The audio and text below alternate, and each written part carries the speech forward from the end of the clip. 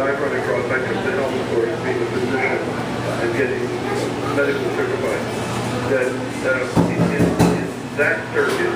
there's no question that uh, one of the goals, I think, of, of the health group is to uh, try to get into medical school, skills. Uh. I think the direction that